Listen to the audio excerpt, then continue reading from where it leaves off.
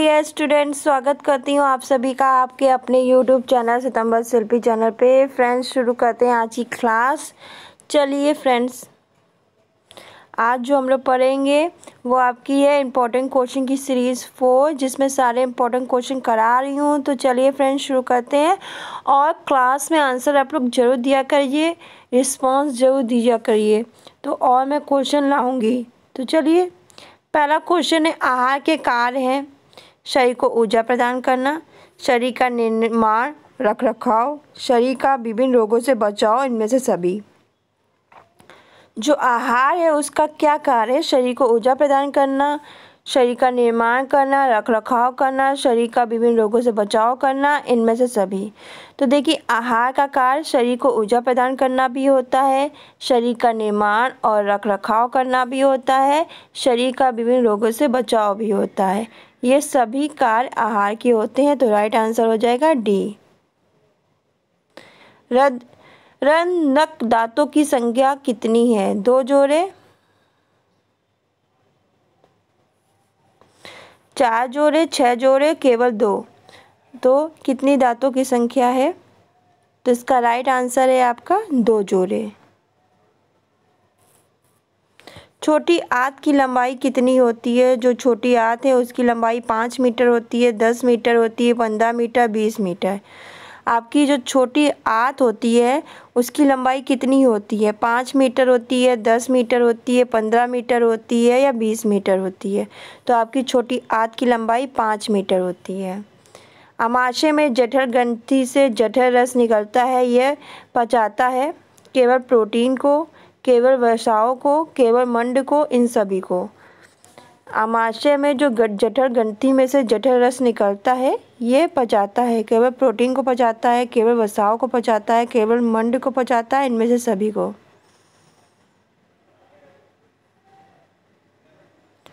तो अमाशय से जो जठर ग्रंथि से जठर रस निकलता है, वो केवल प्रोटीन को पचाता है।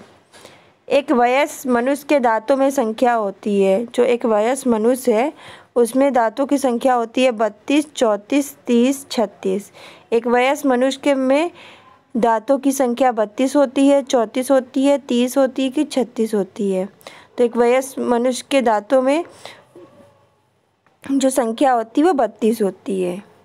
प्रिप्सिन नामक एंजाइम्स होता है जठर रस में, पित्त रस में, आंतरिक रस में, अग्नाशिक रस में। जो आपका प्रिप्सिन नामक एंजाइम्स है वो जठर रस में होगा। पित्त रस में होगा, आंतरी रस में होगा, अग्नाशिक रस में होगा। तो प्रिप्सिन नामक एंजाइम्स आपका जठर रस में होगा। किसमें? जठर रस में। पचे हुए भोजन का अवशोषण आहार नाल के कौन से भाग में होता है? जो पचे हुए भोजन है, जो पचा हुआ भोजन है, उसका अवशोषण आहार नार के किस भाग में होता है? अमाशय में, छोटी आंत में, मुख गुहा में, पकवाशय में। जो आपकी पचे हुए भोजन का अवशोषण आहार नार के कौन से भाग में होगा? अमाशय में होगा, छोटी आंत में होगा, मुख गुहा में होगा कि पकवाशय में होगा? तो पचे हुए भोजन का अवशोषण आहार नार के छोटी आंत में होता है। आहार नाल का सबसे लंबा भाग, जो आहार नाल है, उसका सबसे लंबा भाग अमाशय है, छोटी आंत है, बड़ी आंत है, मलाशय है। जो आपका आहार नाल है, उसका सबसे लंबा भाग अमाशय है, कि छोटी आत है, कि बड़ी आत है, कि मलाशय है। तो उसका राइट आंसर क्या है? तो आहार नाल का सबसे लंबा भाग छोटी आत है। प्रोटीन के पाचन से बनता है। अमीनो अम ग्लूकोज ग्लिसरॉल व वसीयम इनमें से कोई नहीं। प्रोटीन के पाचन से क्या बनता है? प्रोटीन के पाचन से अमीनो अम बनता है। स्टार्च को माल्टोज, जो स्टार्च है, उसको माल्टोज शक्रा में परिवर्तित करने वाला किवरण है। जो आपका स्टार्च है, उसको माल्टोज शक्रा में परिवर्तित करने वाला किवरण है, ट्रिप्सिन, स्टेपिसिन, एरिप्सिन एमालाइप्सिन तो इसका राइट आंसर है स्टार्च को माल्टोज शक्रा में परिवर्तित करने वाला किवरन एमाइलेप्सिन है। यकृत अतिरिक्त शक्रा को किस वस्तु में परिवर्तित कर देता है? जो यकृत है, वो जो एक्स्ट्रा शक्रा होती है वो एक्स्ट्रा शक्रा को किस वस्तु में परिवर्तित कर देता है? ग्लाइकोजन में, सेल्यूलोज में, एमजाइंस में, ट्रिप्सिन में। यकृत अतिरिक्त शक्रा को किस वस्तु में परिवर्तित कर देगा? ग्लाइकोजन में कर देगा सेल्यूलोज में कर देगा, एमजाइंस में कर देगा, ट्रिप्सिन में कर देगा। तो यकृत अतिरिक्त शक्रा को ग्लाइकोजन वस्तु में परिवर्तित कर देता है। लार में कौन सा एंजाइम्स पाया जाता है? टाइलिन, ट्रिप्सिन ट्रिप्सिन रेनिंग लार में आपका कौन सा एंजाइम्स पाया जाता है? ये क्वेश्चन बहुत पूछा जाता है। इन मोस्ट इंपॉर्टेंट है ये। आपका लार में कौन सा एंजाइम्स पाया जाएगा? टाइलिन प्रिप्सिन ट्रिप्सिन या रेनिंग तो लार में हमारा जो एमजेंस पाया जाएगा, उसे हम टाइलिन कहेंगे। किस पोषक तत्व का पाचन मुँह में प्रारंभ हो जाता है? जो किस पोषक तत्व का जो प्रारंभ होता है, वो मुँह में प्रारंभ हो जाता है। वसा का प्रोटीन का कार्बोहाइड्रेट का विटामिन का। तो किस पोषक तत्व का पाचन मुँह में प्रारंभ हो जाता है? वसा का प्रोटीन का कार्बोहाइड्रेट का विटामिन का। तो कार्बोहाइड्रेट पोषक तत्व का पाचन मुख में स्टार्ट हो जाता है, प्रारंभ हो जाता है। अमाशयिक रस में कौन सा एमजेंस पाया जाता है? लेरिन ट्रिप्सिन ट्रिप्सिन टाइलिन अमाशयिक रस में कौन सा एमजेंस पाया जाता है? रेलिंग पाया जाएगा प्रिप्सिन पाया जाएगा ट्रिप्सिन पाया जाएगा टालिन तो अमाशी रस में हमारा रेलिन एमजेंस पाया जाता है। पाइलोरिक द्वार पाचन तंत्र के किस भाग में पाए जाते हैं?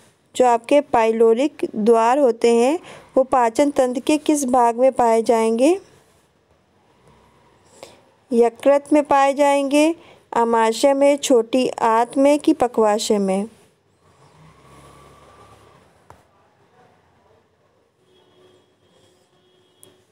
आपका क्वेश्चन है पाइलोरिक द्वार पाचन तंत्र के किस भाग में पाए जाते हैं? तो आपके पाइलोरिक जो द्वार होते हैं, वो पाचन तंत्र के आमाशय भाग में पाए जाते हैं। तो राइट आंसर इसका बी है। दांतों को स्वस्थ रखने के लिए आवश्यक है कैल्शियम, फास्फोरस, उपयुक्त दोनों उपयुक्त दोनों नहीं। दांतों को स्वस्थ रखने के लिए हमें क्या ज़रूरी है? कैल्शियम ज़रूरी है। फास्फोरस ज़रूरी है या हमें कैल्शियम, फास्फोरस दोनों लेना चाहिए क्या दोनों में से कोई भी चीज़ नहीं लेनी चाहिए? तो दांतों को स्वस्थ रखने के लिए हमें कैल्शियम, फास्फोरस दोनों लेना चाहिए। तो उपयुक्त दोनों। टेलिन नामक एंजाइम जो अमाशय में बनता है प्रोटीन प्रक्रिया करता है, केवल दूध की प्रोटीन प्रक्रिया करता है, दूध को फाड़ कर उसकी प्रोटीन को अलग कर देता है कैटालैज को पचाता है। जो रेडिन नामक एंजाइम्स है, जो हमाशय में बनता है प्रोटीन पर क्रिया करेगा। केवल दूध की प्रोटीन पर क्रिया करेगा, या दूध को फाड़ कर उसकी प्रोटीन को अलग कर देगा, या कैटालेज को पचाता है। तो इसका राइट आंसर क्या होगा? इस तो इसका राइट आंसर सी है। दूध को फाड़ कर उसकी प्रोटीन को अलग कर देता है रेरिंग नामक एंजाइम जो अमाशय में बनता है, वो दूध को फाड़ कर, उसकी प्रोटीन को अलग कर देता है, साइड कर देता है। मुँह में कितनी लाल ग्रंथियाँ होती हैं? दो होती हैं, चार होती हैं छः होती हैं, आठ होती हैं। मुँह में कितनी लाल ग्रंथियाँ होती हैं? दो, चार छः आठ। तो आपकी मुँह में छः लाल ग्रंथियाँ होती हैं। निम्नलिखित में से कौन सा पाचन अंग नहीं है? बरियात, पीहा, यकृत, हृदय। निम्न में से कौन सा पाचन अंग नहीं है? बरियात नहीं है कि पीहा नहीं है, यकृत नहीं है कि हृदय नहीं है? तो राइट आंसर जल्दी से दे।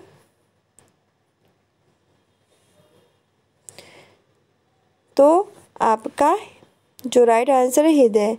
हृदय पाचन अंग नहीं है। आमाशय से स्रावित होता है। साइट्रिकम, नाइट्रिकम, हाइड्रोक्लोरिकम, इंसुलिन। आमाशय से हमारे क्या श्रावित होता है? साइट्रिकम निकलेगा, नाइट्रिकम निकलता है, हाइड्रोक्लोरिकम निकलता है, इंसुलिन निकलता है। तो हमारा क्या निकलता है आमाशय से? तो अमाशय से हमारा हाइड्रोक्लोरिक अम्ल निकलता है। अमाशय से हमारा क्या श्रावित होता है? तो अमाशय से हमारा हाइड्रोक्लोरिक अम्ल निकलता है, श्रावित होता है। तो फ्रेंड्स आज के लिए बस इतना ही।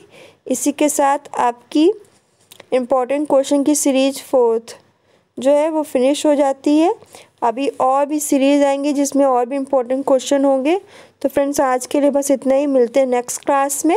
और नेक्स्ट टॉपिक के साथ साथ ही अगर आपने मेरे चैनल को सब्सक्राइब नहीं किया तो चैनल को सब्सक्राइब कर लीजिएगा, जिससे आपको मेरी लाइव क्लास की नोटिफिकेशन मिल जाएगी और आप मेरी लाइव क्लास आराम से अटेंड कर सकते हो।